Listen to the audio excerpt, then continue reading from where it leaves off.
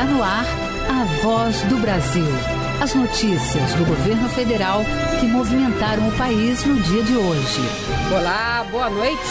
Boa noite para você que nos acompanha em todo o país. Quarta-feira, 26 de fevereiro de 2020. E vamos ao destaque do dia: confirmado o primeiro caso de coronavírus no Brasil. Ministério da Saúde reforça ações de precaução para manter doença sob controle. E recomenda medidas de higiene para brasileiros evitarem contaminação. Luciana Colares de Holanda.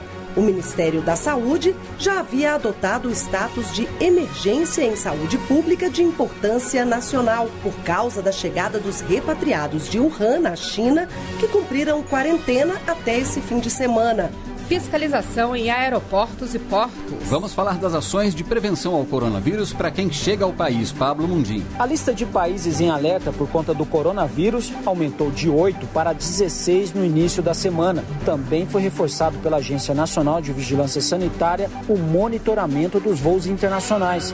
E você também vai ouvir na Voz do Brasil. Vamos falar sobre os cuidados para evitar a dengue. E eles não são apenas no período de chuvas. Luana Karen. É importante manter os cuidados todos os dias, porque os ovos do mosquito podem sobreviver por um ano até encontrar as melhores condições para se desenvolver.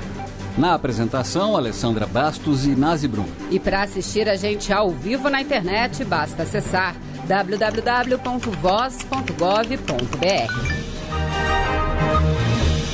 Confirmado o primeiro caso de coronavírus no Brasil. O paciente esteve na Itália, país que já registrou mais de 370 casos da doença. O Ministério da Saúde vai continuar a adotar medidas para manter a doença sob controle no país. E recomenda medidas de higiene para a população evitar possível contaminação pelo vírus. O paciente brasileiro que contraiu o novo coronavírus é um homem de 61 anos que esteve no norte da Itália, região considerada foco de surto da doença na Europa. Ele retornou ao Brasil na última sexta-feira. O diagnóstico foi feito na segunda-feira em São Paulo, cidade em que ele vive, e confirmado por uma contraprova.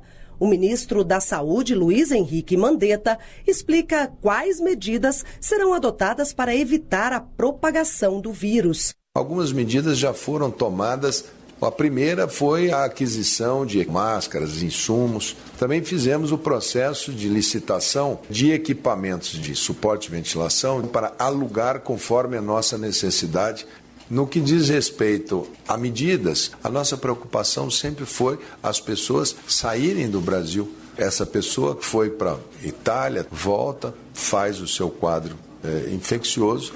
Quando ele confirma positivo, nós já disparamos as medidas, assumindo o caso já como um caso de cuidado intensivo dele e dos seus contactantes. E os passageiros que vieram, a gente segue a regra: duas poltronas à frente, duas laterais. Isso aí a Anvisa localiza cada um deles. A gente entra em contato e comunica. Caso você tenha febre, tosse, imediatamente se comunicar com o estabelecimento de saúde. O Brasil é o segundo país no hemisfério sul a confirmar caso de coronavírus. O primeiro foi na Argélia. O Ministério da Saúde já havia adotado o status de emergência em saúde pública de importância nacional, por causa da chegada dos repatriados de Wuhan, na China, que cumpriram quarentena até esse fim de semana.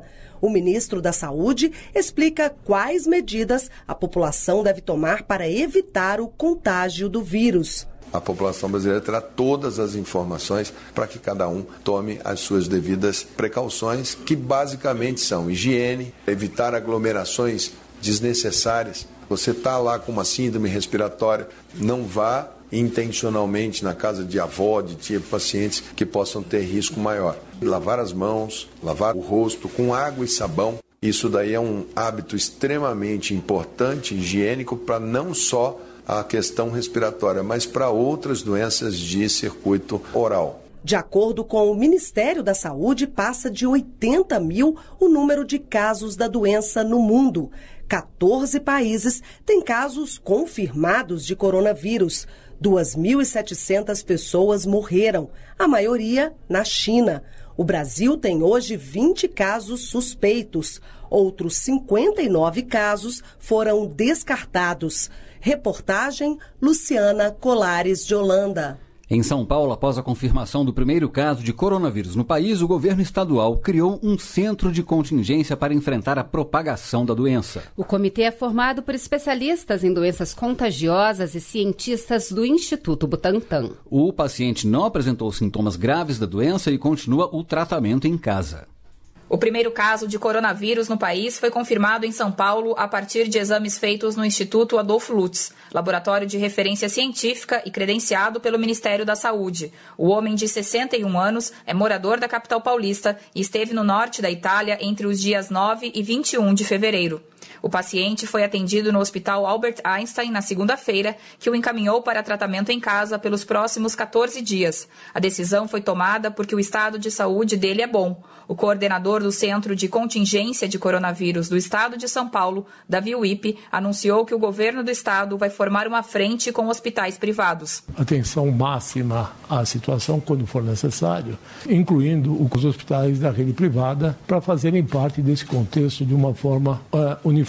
Teremos um grupo de apoio no entendimento do que é necessário para este momento que acabamos de ter o primeiro caso para a pesquisadora da Unifesp, a infectologista Nancy Belay, nesse momento só devem buscar serviços de saúde viajantes que estiveram em países onde há surto da doença e que apresentarem sintomas. O risco é sobrecarregar os hospitais e aumentar o contágio. Tanto a OMS, o CDC, o Ministério da Saúde recomendam que o paciente seja avaliado se ele pode ficar em casa ou não, para você não ficar colocando vários pacientes infectados dentro do hospital sem necessidade muito do que ocorreu de transmissão na China, na Coreia e mesmo na Itália foram pacientes que transmitiram dentro do hospital. Então, tem que avaliar. Segundo o comitê, a situação em São Paulo está sob controle, apesar do paciente ter tido contato com pelo menos 34 pessoas. Nenhuma delas tem sintomas da doença. Como o Brasil está no verão, as chances de transmissão do vírus são menores. Reportagem Sara Kines. E a Anvisa, a Agência Nacional de Vigilância Sanitária, está reforçando as ações de prevenção ao coronavírus nos portos e aeroportos do Brasil. A agência é responsável pelas primeiras medidas junto aos viajantes que chegam ao país. Uma das principais portas de entrada no Brasil, o Aeroporto Internacional de Guarulhos, em São Paulo, tem uma movimentação média diária de 120 mil passageiros e 830 operações de pousos e decolagens, segundo a administração do aeroporto. Com o aumento dos casos de coronavírus pelo mundo e o primeiro confirmado no Brasil, a rotina de quem passa pelo aeroporto mudou. O argentino Aníbal Ruben Arevalo, que está morando no Brasil há três anos, conta que adotou algumas medidas de prevenção enquanto aguardava o desembarque de um amigo. Comecei a ver o que estava acontecendo aqui e decidi comprar minha, minha máscara e meu álcool em gel. A lista de países em alerta por conta do coronavírus, monitorados pelo governo brasileiro, aumentou de 8 para 16 no início da semana. Entre eles foram incluídos países da Europa, como Itália, França e Alemanha.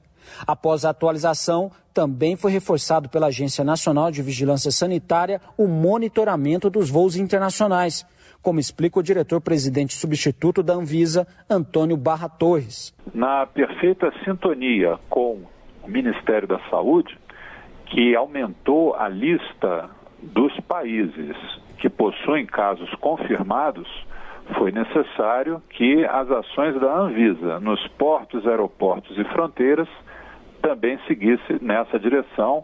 E agora temos sim uma gama de países em que temos que ter a nossa mesma atenção, o nosso mesmo critério que já tínhamos quando toda essa situação se iniciou na China.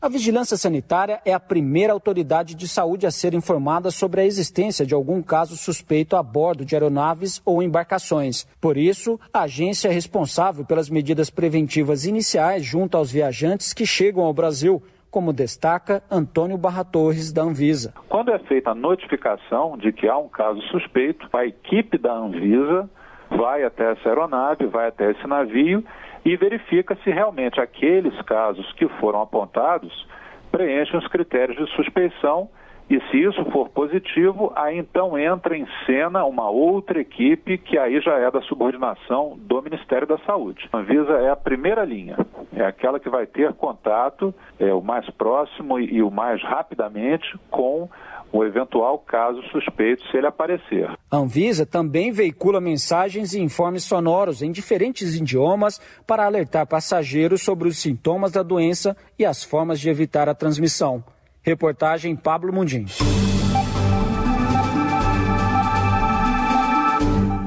Identificar os obstáculos que travam o crescimento de uma empresa e propor soluções para aumentar a produtividade. Esse é o objetivo do programa Brasil Mais, que vai levar o trabalho de consultoria do Sebrae e do Senai para cerca de 200 mil empresas. Empresário do ramo de artigos esportivos em Itaúna, Minas Gerais, Guilherme Barreiras percebeu que precisava de ajuda para melhorar o negócio. A relação com os clientes e também com fornecedores não ia bem. O direcionamento foi feito com o apoio do Sebrae.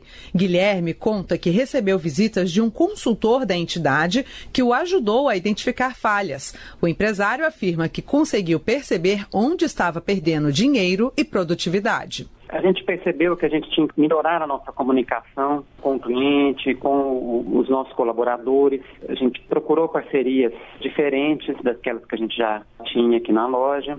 A gente percebeu que a nossa nosso financeiro precisava de uma gestão assim mais enxuta e a gente percebeu assim alguns erros e com uma nova visão a gente colheu bons resultados. O Guilherme é um de vários exemplos de empresários que buscaram se modernizar para aumentar a produtividade e a competitividade. E é por meio da transformação digital que o programa Brasil Mais, lançado pelo governo semana passada, deve alcançar 200 mil micro, pequenas e médias empresas dos setores da indústria, do comércio e de serviços. Coordenado pelo Ministério da Economia, o Brasil Mais será gerido pela Agência Brasileira de Desenvolvimento Industrial, a BDI, e executado pelo Senai e pelo Sebrae. O ministro da Economia, Paulo Guedes, afirmou que o programa é uma união de esforços. O que nós estamos fazendo é aliando os esforços do governo a essa capacitação que já era também um dos objetivos do Sistema S. E então, juntos, estamos melhorando a produtividade da mão de obra brasileira, a competitividade das empresas brasileiras e, consequentemente, maiores salários, mais emprego, mais renda para o trabalhador. O Serviço Nacional de Aprendizagem Industrial, SENAI, vai atender indústrias que têm entre 11 e 499 funcionários. Vai oferecer capacitação para grupos de 6 a 8 empresas. 1.300 consultores vão atuar em todo o país, além de professores e tutores dos cursos de capacitação, que serão online e presenciais. Segundo o diretor de operações do SENAI, Gustavo Leal, a iniciativa foi testada em dois estados brasileiros e os resultados foram positivos positivos. O projeto piloto funcionou em dois estados, Espírito Santo e Ceará, e tivemos resultados expressivos, um aumento de produtividade da ordem de 64%. É uma metodologia nova, os funcionários das empresas trabalham de forma colegiada, então absorvem a experiência um dos outros. É muito interessante porque a empresa internaliza a metodologia, ela passa a ter o domínio do processo. Já o Serviço Brasileiro de Micro e Pequenas Empresas, SEBRAE, vai atender prioritariamente o setor de comércio e serviços, oferecendo orientação técnica e consultorias para aperfeiçoamento de práticas gerenciais. Cada companhia atendida terá um diagnóstico aprofundado e um pacote de consultorias especializadas em gestão e inovação. 1.100 agentes locais de inovação vão acompanhar as empresas individualmente. Para o presidente do SEBRAE, Carlos Melles, o momento atual da economia brasileira é ideal para melhorar a renda, gerar crescimento e mais empregos. Você aumenta a produtividade, aumenta a receita, aumentando a produção através da produtividade, seguramente vai ter um custo menor e isso vai também gerar emprego, certamente. A capacitação vai durar de três a seis meses. Em contrapartida, as empresas terão de pagar pelas consultorias. A expectativa é de que as empresas recuperem em poucos meses os valores investidos na capacitação. O programa Brasil Mais será executado até dezembro de 2022. As empresas interessadas devem se cadastrar na plataforma gov.br/brasil mais. Reportagem Daniele Popov. Estamos no período de chuvas. Época em que o mosquito da dengue mais se reproduz. Você vai ouvir ainda hoje os cuidados para que o Aedes aegypti não se prolifere e que a dengue não se espalhe aí no seu bairro. Estudar em uma faculdade paga é uma realidade distante para muitos jovens no Brasil. Mas com o financiamento estudantil, o governo ajuda estudantes a conquistarem o tão sonhado diploma. Com o FIES e o PFIES é possível financiar as mensalidades a juros baixos ou mesmo zero. O Ministério da Educação deve divulgar o resultado ainda hoje. Agora, às 7h15 da noite, o resultado ainda não foi divulgado. Para realizar o sonho de cursar engenharia elétrica, a estudante Alicia Costa saiu do interior do Tocantins e foi morar na capital do estado, Palmas. Mas com várias contas para pagar, ficou difícil arcar com as mensalidades. Foi quando decidiu tentar uma bolsa de financiamento estudantil para continuar o curso. Hoje, ela já está quase se formando com a ajuda do FIES. Eu locomovi para capital, então eu tinha que pagar transporte, pagar aluguel. Consegui o FIES foi no quinto período já da engenharia. Foi quando eu joguei a minha nota do Enem e consegui 50%.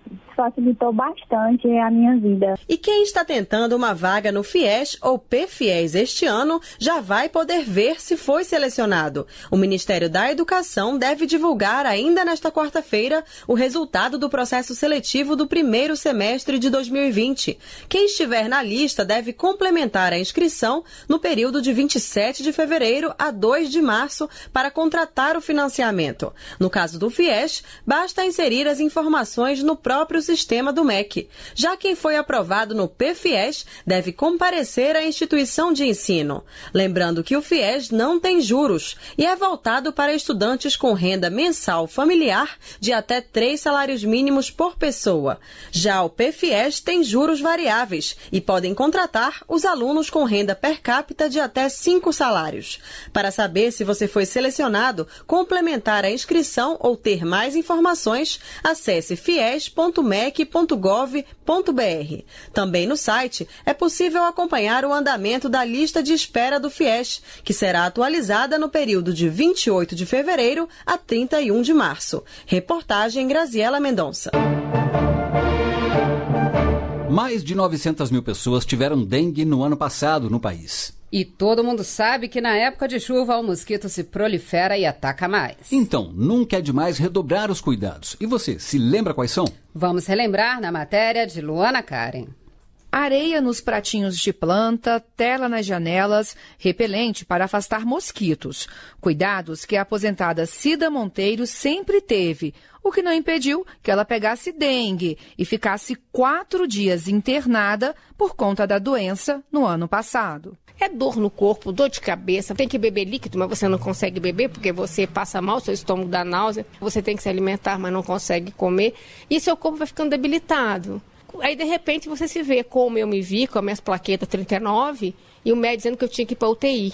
É aquela coisa, a Cida toma todos os cuidados na casa dela para evitar que o Aedes aegypti, o mosquito transmissor da dengue, consiga se criar. Mas se o vizinho não cuida, toda a comunidade continua correndo risco de ter dengue. O caminho para dar um fim à dengue passa por não deixar água parada, seja nos vasos de plantas, em pneus ou até em piscinas. O período do ano com maior transmissão são os meses mais chuvosos, mas é importante manter os cuidados todos os dias, porque os ovos do mosquito podem sobreviver por um ano até encontrar as melhores condições para se desenvolver. A aposentada Cida Monteiro faz o apelo. Você pode botar areia nas suas plantinhas, você pode não deixar juntar água, ter cuidado com as calhas da sua casa. Não vou deixar uma água empoçada, não vou deixar um ralo aberto. Cuidado é muito simples, não é nada complicado. A prevenção é tudo, gente. Cuidado Melhor coisa que tem. No ano passado, foram registrados quase 970 mil casos de dengue no país. Os estados com mais casos foram São Paulo e Minas Gerais. Reportagem Luana Karen. Está terminando o prazo para que secretários estaduais e municipais de saúde declarem as receitas e despesas na área em 2019. Os dados devem ser informados no CIOPS, o Sistema de Informação sobre Orçamentos Públicos em Saúde, até o dia 1 de março. Caso governos estaduais e prefeituras não informem os gastos até esta data, podem sofrer sanções, como a suspensão de transferências de recursos públicos, como os fundos de participação dos estados e dos municípios, repassados mensalmente pelo governo federal. Segundo o último balanço do Ministério da Saúde, cerca de 3 mil gestores ainda não tinham registrado a situação dos gastos no sistema. Em pleno carnaval, teve gente que evitou a folia, mas mesmo assim não conseguiu descansar. É o caso do atleta Caio Bonfim, já classificado para as Olimpíadas de Tóquio. O Brasil tem 170 vagas na competição e 37 atletas já estão garantidos. E a maioria deles consegue manter o treinamento em dia com a ajuda que recebem do Bolsa Atleta. Folia para uns, rotina puxada para outros. Manter títulos já conquistados e ganhar uma medalha olímpica exige trabalho duro. Campeão brasileiro de marcha atlética oito vezes, medalhista nos Jogos Pan-Americanos e duas Olimpíadas no currículo, o atleta Caio Bonfim não descansou, nem no carnaval. A vaga para os Jogos Olímpicos de Tóquio, no Japão, entre julho e agosto deste ano, já está garantida. Antes, ele vai participar da Copa Sul-Americana de Marcha em Lima Lima, no Peru, em março. E sobre o carnaval, Caio responde. Só no Brasil se para no carnaval, né? Então, meus adversários estão treinando, é dia normal para eles. Nós treinamos duas vezes por dia, né? Dá um, um total de 30 quilômetros por dia, além de ter fisioterapia, né? Faço pilates, musculação, atleta 24 horas, né? A marcha atlética é um esporte em que os competidores não podem correr, ou seja, um dos pés sempre precisa estar no chão. Para o Caio, foi natural a escolha do esporte, já que ele é filho de mãe marcha embaixadora e pai treinador. Outro incentivo para ele é a Bolsa Atleta. Caio conta que o benefício o ajuda na carreira. Para mim é essencial, né? Para que eu possa ter estrutura para manter esses treinamentos e esse nível competitivo, né? Então a, é, a Bolsa Atleta te dá uma estrutura, né? É o que sustenta né, que tem, tem me ajudado desde o início da minha carreira. Segundo o Comitê Olímpico do Brasil, o país pode ter delegação recorde nos Jogos Olímpicos de Tóquio. Até agora são 170 vagas confirmadas. Dessas vagas, 37 estão garantidas. São 22 homens e 15 mulheres. E desse pessoal, 91,2% fazem parte atualmente do Bolsa Atleta, com investimentos anuais de mais de 4 milhões de reais. Em todo o país, 6.541 atletas recebem o benefício. Os desafios a serem enfrentados pelos brasileiros que vão a Tóquio, segundo o COB, são o clima, o fuso horário e a aclimatação, que é a adaptação às condições climáticas do Japão. Haverá nove bases de aclimatação para receber os atletas. Os competidores deverão chegar pelo menos 15 dias antes das provas. Por enquanto, os brasileiros vão competir no futebol, atletismo, vôlei, vela e a novidade desta edição, o surf. Reportagem Daniele Popov. 42 cidades de Alagoas tiveram a situação de emergência reconhecida pelo Ministério da Integração Nacional por conta da estiagem. Isso representa mais de 40% de todas as cidades do estado. Com o reconhecimento, as prefeituras podem ter acesso a recursos do governo federal para ações de socorro e assistência à população. Essas foram as notícias do governo federal. Uma realização da Secretaria Especial de Comunicação Social da Presidência da República. Com produção da empresa Brasil de Comunicação. Fique agora com um minuto do TCU. Em seguida, as notícias do Poder Judiciário e do Congresso Nacional. Uma boa noite. Uma boa noite para você e até amanhã.